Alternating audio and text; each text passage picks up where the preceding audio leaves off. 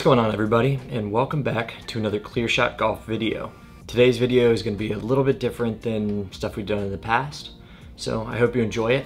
One of our past match videos we had somebody comment asking how we put the uh, shot trackers on all the golf shots. So figured I would run through that today, show you what I do, teach you how to do it too. If this is your first time here, thanks for visiting the channel. Um, we put out all different types of golf content, so, so if you want to consider subscribing, we would appreciate it. Um, we'll try to keep whatever videos we put out as interesting as possible. Um, so if you want to see more stuff like this, tutorial type of videos, just let us know in the comments and we will work to do it. Shot trackers are a great way to enhance your golf video. It makes everything look a little bit cooler watching that line like on TV. So there's a couple key things you have to do to, to pull it off well. And there's a couple different ways that you can do it. So the first and one of the more popular options for adding shot trackers is um, a phone app just called the Shot Tracer app. And that's, you know, I've heard guys like Rick Shiels talk about him using specifically that. And if you watch some of his videos, you can see that he's physically recording some of the shots with his phone so that he can add those trackers on using the mobile app and that's cool. That's not what I do, but it is an option, um, and it's available on the IO, like the Apple Store and uh, Google Play Store. But the option that I found that I enjoy the most is the, the desktop version of the Shot Tracer app. This one I believe it's only available on Mac, which is good because that's what I have. I use a Mac and I use Final Cut Pro for video editing. I'm pretty sure when you buy the Shot Tracer app, you have to pay like a yearly subscription or something for it. Well, I don't know because I already paid for it, but it's like 50 bucks a year or something like that. It's not crazy, but it makes this super easy. If you have video editing knowledge and you can use um, a program like After Effects, then I'm sure you could get some cooler looking tracers for the average people throwing together videos.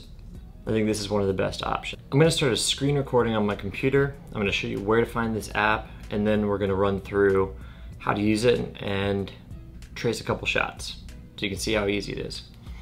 All right, so first of all, when you open up the App Store, search for Shot, Shot Tracer Pro, um, and then this first app that you see, Shot Tracer Pro, it's a sports app. That's the one that I use.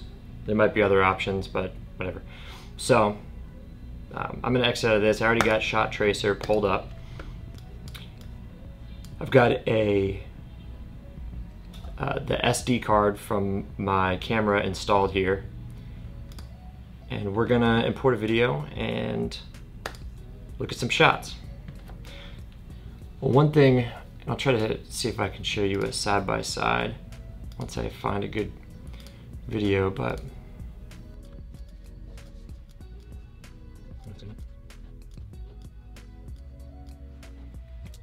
All right, so I found a video that will be good for this. This is from around back in March. I'm gonna select it from the camera, hit open. When you add the video file into Shot Tracer Pro, it actually has the ability to auto build a trace based on what it sees. So if it detects a shot, then um, sometimes it will build it for you. Um, but something to keep in mind when you're actually recording this is the composition of the shot. Like in these video clips, well, looks like it, it found both of them. In these video clips, you can see that you can see the sky in the background. It's not just completely washed out. That's an important step to make sure that the uh, Shot Tracer app can actually detect the ball flight and trajectory. So either way, so for these two, looks like, you know, it found both of the shots. From this point, if you're, you know, happy with the way that it looks and you want to export that, you can. Um, over on the right here, you can choose the style, you can change the color. I'll typically change the color between me and somebody else if we're playing just to indicate a difference. um, how long it's gonna travel for, whatever. So we're gonna select an export file.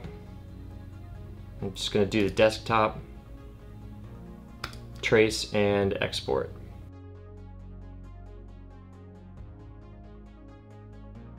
So now that those two videos are exported, we're gonna open one up just to see how it looks in QuickTime Player play this clip.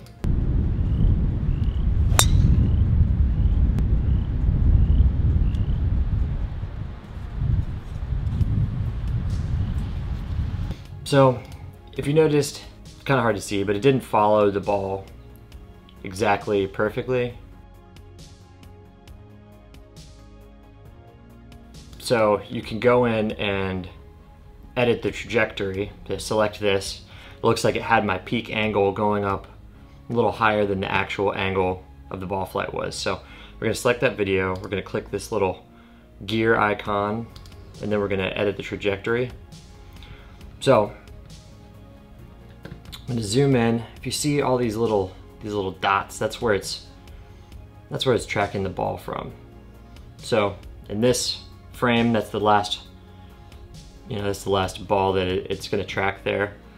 So if you go to next frame, you can see where the ball advances. You can click that, press the space bar, click the ball again, keep pressing the space bar, and then repeat this process until you essentially can't see the ball on the screen anymore. So I'll hurry this up just so you know what I'm talking about.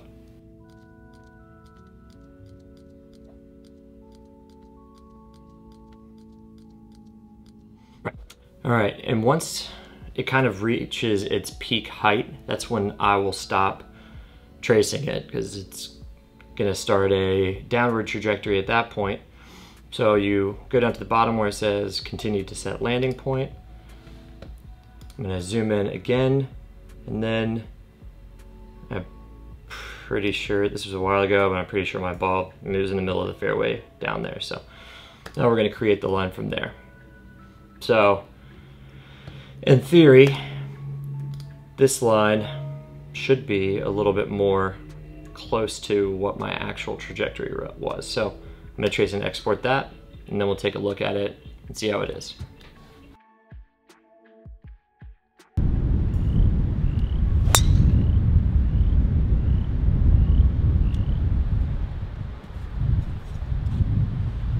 All right, so after I made those adjustments, that line looks a lot better. Um, it follows the ball, I think, much better than the original one did, and that's fine. So it's a give and take. It takes longer to do that, but I think ultimately you get a better result.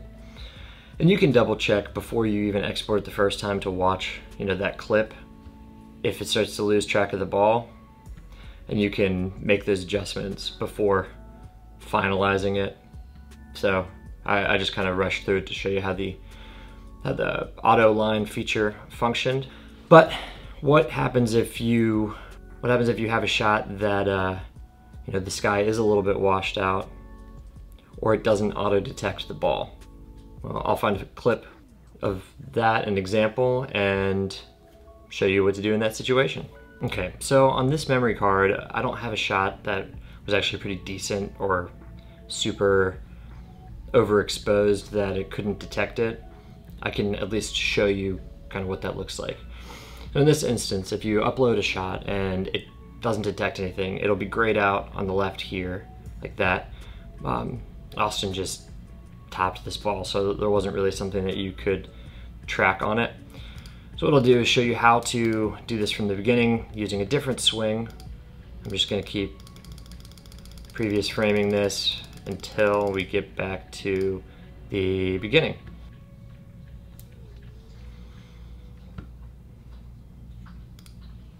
All right, so if it doesn't detect the shot, then you'll have to start from the beginning and set an impact frame. And that's where we are right now. So you can move through each frame until you find your impact frame. I'm gonna say this is my impact frame just because I got a clear picture of the ball. So set that, and then you click on the ball, right? Then you go to the next frame and you repeat. So to make it easier, we'll zoom in. I'm gonna go quick through this so you get the general idea, but this is exactly what it would look like if it does not auto-detect your shot.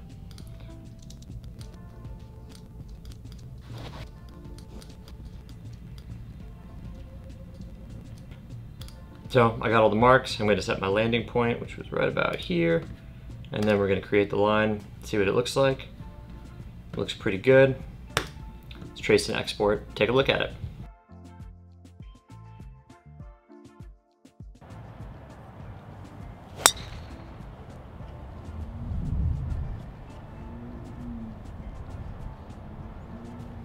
Nice shot. Thanks. Okay, so I think that looks pretty good. Um, you know, it's pretty similar to what it had auto made the line before. Um, but whatever, you can still do it yourself if you have to. And like I said before, I'll always, even if it does auto detect the shot and it creates a line, I'll still go through, like analyze the, the actual shot locations to make sure that it's actually doing what it should be doing. Um, but either way, that's that's the easiest way that I've found to put a good shot tracer on a video. I can run through nine holes in uh, 30 minutes to an hour. If you're quick about it, you just a little bit of practice, you can go faster. And the last point that I had forgotten to mention is when you're actually setting up to film this, yes, A, make sure that the exposure is okay and that you can see some of the sky, like the clouds in the sky are a good indicator that you'll be able to see the ball against the sky. Second, make sure you're using a tripod. Um, it needs to be stable. If the camera moves, the line is going to move with the shot, so not specifically following the ball. Um, third, I would make sure that the camera is far enough back that you can capture the entire trajectory of the ball flight. And once you do that, then getting in here and tracing the shots before you actually put the video together makes it a lot quicker and a lot easier. Um, well, I hope you enjoyed this video. If you have any questions, please leave them down in the comments below. Uh, leave us a like and subscribe to the channel if you want to. Um, and, you know, hope to see some of those nicely traced golf videos coming from you guys soon. Thanks for watching.